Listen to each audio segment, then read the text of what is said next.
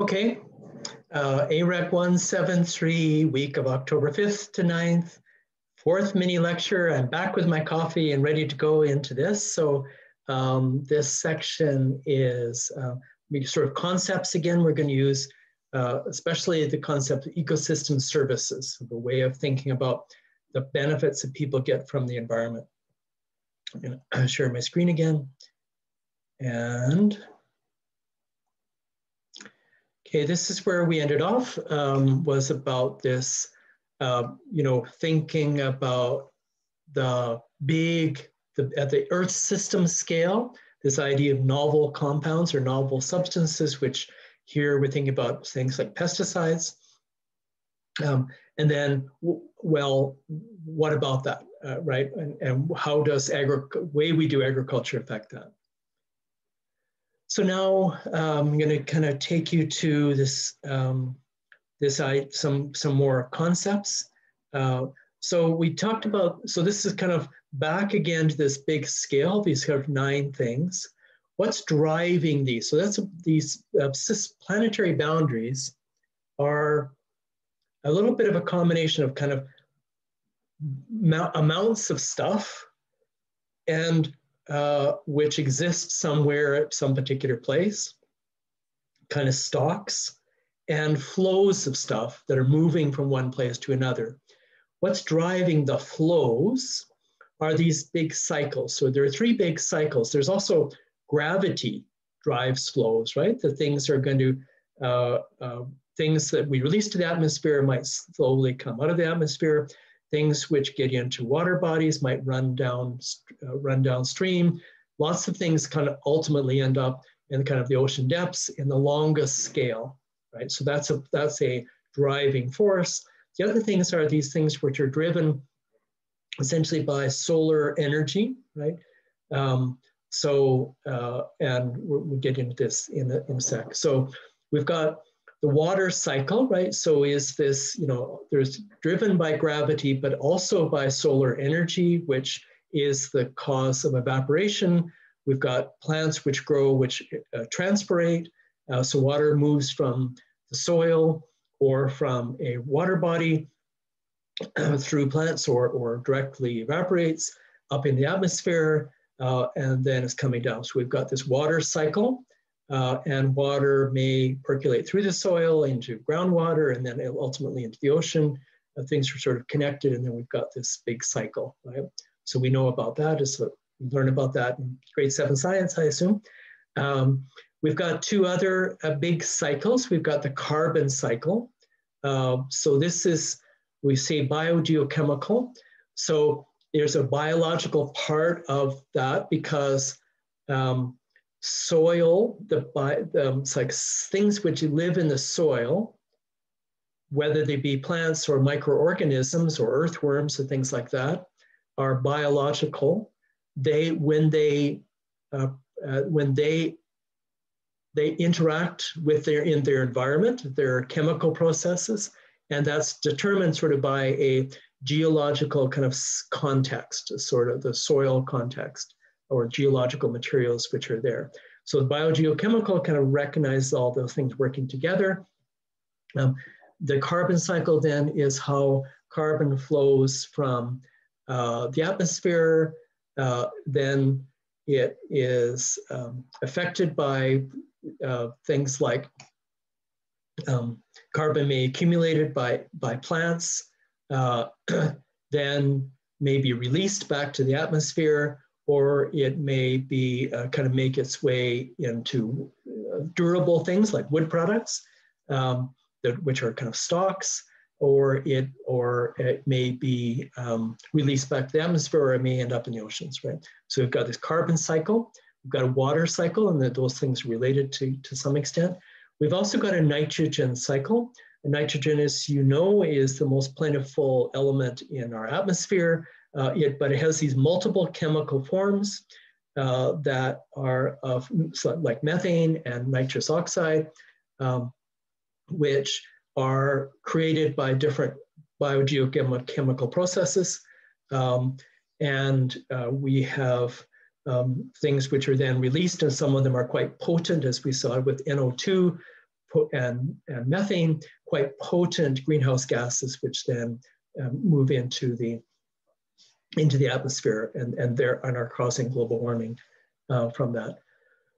We've got, so those are three big, three big cycles which run many of these other uh, processes that deform the planetary boundaries. Um, we've also got these ecosystems. We've talked about that in terms of biodiversity. We've talked about ecosystem biodiversity. So here's a more formal definition uh, as a biological community of interacting organisms, so plant, animal, bacteria, organisms, and the environment in which they interact, and is driven by uh, interactions with the water, uh, carbon, and nitrogen cycles. So let's think about different ways that uh, agriculture could affect or other human use might affect these different cycles. So here we've got the water cycle. Um, so we can think about the fact that uh, crops, um, let's see, it's right here. Just got to move my bar. Um, so we can think about the way that crops grow and that trees grow transpires water uh, from the soil up into the atmosphere, right? Um, we then, uh, that water, that water might be pushed by a lateral flow, which might be a prevailing wind, either out to the ocean or, or back onto the, um, mostly back onto the land base.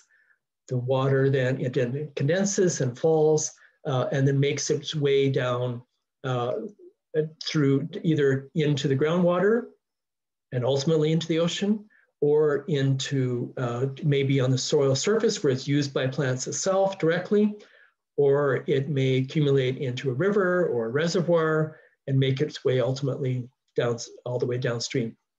So the type of plants matter, right, for the amount of water that they use. We may have very fast growing trees like eucalyptus trees, which um, and bam, uh, giant bamboo, which grow like crazy, but they use large amounts of water. We may have other water saving crops. Uh, things like millets in India are, are seen as drought tolerant and, and use small amounts of water. So the type of crop or the type of tree, the type of tree matters, right? Um, how we cultivate. So if we cultivate across a hillside or whether we cultivate down, up and down the hillside, affects the channeling of water up and down, or whether water has more of a chance to infiltrate, or whether it's more likely to run off. So that matters. The way we cultivate matters. Um, what else we want to say about that? Uh, so if we have uh, irrigation facilities, uh, which uh, re rely on kind of reservoirs of water, that uh, and then how we channel that into the irrigation canals, that matters, or whether we're using groundwater, that, that choice of groundwater or canal water matters. So there's lots and lots of ways because agriculture is such a dominant user of water, uh, using, um, um, well, 70% of all the water that we harness is used for agriculture. It, it has all these different effects. So we can think about different ways um, that we can, uh, that agriculture is affecting that. Okay. Let's see what's going on here. Okay. Second thing then is the nitrogen cycle. How is agriculture affecting that? So here's this pretty complex uh, cycle of uh, nitrogen from the atmosphere, which is N2, uh, which is 80% of the atmosphere. Uh, uh, electrical storms uh, create NO3. we can have fixation uh, which um, at, uh, so nitrogen fixing by plants like the Faidherbia albida, a leguminous tree um, that fixes nitrogen from the atmosphere. And as it does that, it also releases methane. Uh, and also, as I said, ruminant livestock release methane, as does irrigated rice, that all release methane. Um, we can think about then what happens when we fertilize, uh, what's not used by the plant, uh, then it kind of may go lower uh, we got ammonium, for example, NH4, nitrification. Um, and nitrates may form uh, in the soil and then kind of work their way into groundwater. So you can get nitrate pollution of groundwater, or they may be released back into the atmosphere. Um, so we've got this variety of ways then that our agriculture uh, might affect the nitrogen cycle. Um, and this and the Haber-Bosch process is this industrial process using large amounts of energy, um, combining the, uh, the nitrogen from the air with hydrogen from natural gas um, and an iron catalyst, and that's how we produce uh, liquid ammonia, right? So this is drawing from the, so it's affecting nitrogen cycle. Well, there's lots of nitrogen, but it's a, it's a relatively irreversible process in that the nitrogen we're drawing from the atmosphere to create nitrogen fertilizer isn't left in the atmosphere. So at the longest scale, uh, we're, we're drawing down through this process, we're drawing down our stocks of nitrogen in the atmosphere. And what about the uh, kind of the carbon cycle? So here's a um, thinking about the, both the carbon cycle and to some extent the nitrogen cycle and how agriculture affect both of these. Um, I think we've talked about most of these before. Um, so we've got things like burning. So if we're in many parts of the world, people, the crops they grow produce so much biomass that they don't know what to do with it. And it creates um, like water logging problems like we have in the Red River Valley in Manitoba. Uh, we can't just work it into the soil. We have to have to burn it. That releases things back to the atmosphere. If you're, if you're using like that, uh, fertilizer matters. Um, as producing crops, and whether that crop is used for human consumption or used for livestock consumption. As I said, uh, rice and livestock both produce, and ruminant livestock both produce methane emissions. Um, and then we've got soil carbon. I think that one thing I will talk about here is uh, soil carbon in particular. Soil carbon is uh, really, really, really cool. Um, if you can uh, bind soil uh, in, in bind carbon into the soil, then you have uh, a, an environment for growing plants, which is much more healthy for the plants to grow, is a plant, is a soil that is high in soil organic carbon. Um, it also can be fixed in relative in relatively unstable um, forms, and therefore be uh, kind of held that carbon and not being back released. Um, so one of the things we see when we think about big scale land degradation processes is to what extent have they lost, has that soil lost the carbon stock? And it could be from kind of inappropriate cultivation methods, um, or really, or, or even driven by poverty, that people aren't able to reinvest in uh, the carbon in their soils. They're not able either directly or by, say, having fertilizer, which produces more organic matter, which then you can rework back in your soils. So uh, the, a big emphasis of kind of healthy long-term soil management is, is how do we maintain quality of, of soil carbon? Um, and that is a, a, kind of a major emphasis of sort of the agronomists in the, uh, of, of the world. Okay, so we've you know covered a lot of material in this um, set of slides. Um, you know, given quite a few definitions, just one more set of definitions that we are, are going to bring in. And that's, uh, so I've already talked about ecosystem, I think, in a previous slide. A, another way to think about, so ecosystems has all these functions which are driven by these cycles, right? Um, and they produce, they do things. They produce some things which are really healthy for the overall environment, right? And for the other, the plant and animal communities. And that's really great. Uh, and healthy ecosystems are important for being, you know, just as part of healthy environment for biodiversity conservation or other things. They're also, we also think about ecosystems producing stuff for us as people. And that's what we're mostly motivated by in most of our decisions about agriculture is, well, if I invest in something, am I going to get a return on it that I can kind of count on, that, that matters to me? So that's uh, a, the group of economists and, and ecologists uh, about 30 years ago came up with this idea of, well, let's, let's look at the world. What happens if we look at the world primarily from the benefits that people get out of it, out of ecosystems? And let's call those things ecosystem services. So ecosystem functions are just things that are done that ecosystems do. Ecosystem services here, I'm defining narrowly as the benefits that people get from ecosystems. The Millennium Ecosystem Assessment was a UN uh, led um, effort that started around year 2000, ended around uh, the year 2005, which did a kind of a global stock taking for the first time of kind of what's the state of that, of us getting stuff as people from our ecosystems.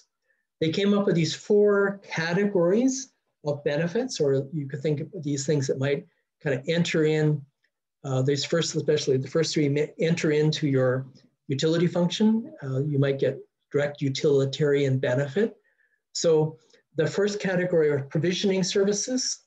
So sometimes people call these as ecosystem goods in, a, in Canada here, um, but Provisioning services are the benefits from material or energy outputs derived from an ecosystem. So a material output would be a food or fiber or tobacco or uh, some other primary material or an energy output that you might get say uh, from, uh, from a tree, right, from burning a tree. So you're, these are, or they may, or another big one is water, right?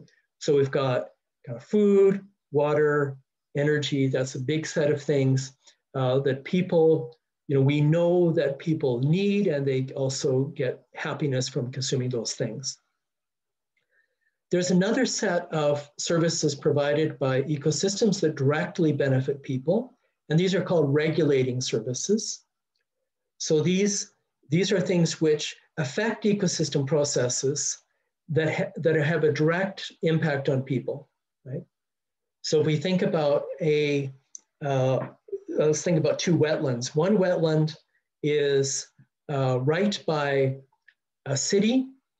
It filters water, the runoff from city processes, and it provides a habitat uh, for, uh, let me think about this. So it uh, also provides a storm water uh, runoff kind of capture facility. So, and you, you, go around Edmonton, you see these stormwater uh, kind of ditches from here, from uh, around the city in different places. So that's a, that, that has a particular service, which is flood mitigation or stormwater uh, protection, right? So that's a, a service performed by that for a particular group of people. If you have that wetlands someplace in far rural Alberta, it may not have any corresponding group who directly benefit from it. So therefore, that wetland in a sense provides less ecosystem services. So kind of the same, this demonstrates the same kind of environmental asset might have different values in different places. And that might uh, be really important for these regulating services. The third group of services that we think of that are kind of direct benefit to people are cultural services. So things like uh, spiritual values that might be that different religious groups or um, faith groups or cultural groups may associate with, uh, say, a, a, grove of trees or uh, a mountain view. Um, there might be educational services that you get um, from an area or information or recreation, whether it be fishing or hunting or uh, or um, riding your, your BMX bike through uh, an area. These are, these are all close, classified as cultural services. and then kind of underlying those three is the idea of supporting services. So these are as parts, things like uh, biodiversity, nutrient recycling, so the uh, the nutrient cycle, uh, primary production of things like grass and soil formation. So these supporting services tend not to have kind of dollar signs that you can assign to them, where provisioning, regulating, cultural and two, you can find kind of dollar signs associated with them uh, kind of if you, if you search hard enough. Um, so the Millennium Ecosystem Assessment did this review. This is from 2005, kind of their stock uh, of what was happening. Uh, and they looked at the world as of 1950s and the world as of the two year, about the year 2000, so Millennium Ecosystem Assessment. Over that 50 year period or 40 to 50 year period, what had happened on the planet. Uh, are we getting more stuff from the planet in 2000 than we were in 2050? Uh, and for provisioning services, so these, and here they've defined it by nutrition, materials, and energy, and then some specific examples of each of those. Um, mostly, we're getting more, we've been able to get more and more of these provisioning services from our ecosystems. So more, certainly more and more food, uh, more feed for animals, uh, more biofuels uh, we're getting, whether it's from ethanol or biodiesel. Um, and so we're, we're, we are that, that type of ecosystem service, we're getting more. What about the other categories?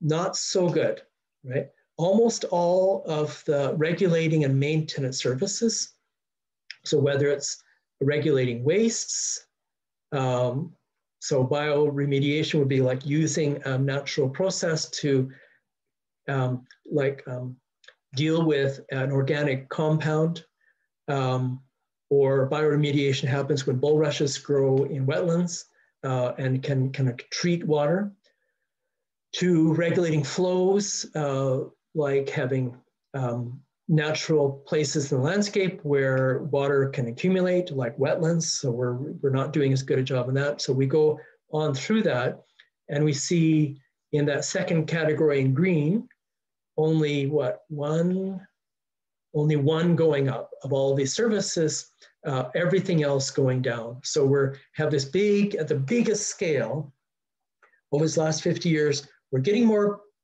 provisioning services, we're losing regulating services. And what about uh, cultural services? That's also, those also are falling down in every case.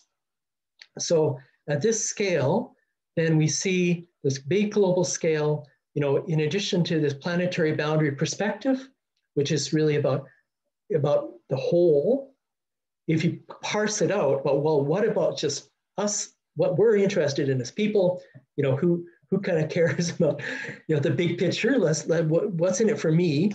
Well what's in it for me now is having a better balance uh, between provisioning services and the other services. We need to strike better balances so we don't just continually run this down. So certainly if you took this the weakest idea of, of sustainability as just producing the ability to produce more food then you might say yeah this suggests maybe we're okay. But if you add anything else uh, about other things that we like, then we're, we're not meeting the weak sustainability criteria, right? Just even the things that we enjoy.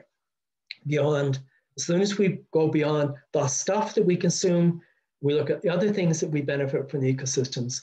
We've got big trade-offs and we've got uh, overall negative declines on everything else other than the stuff that we consume.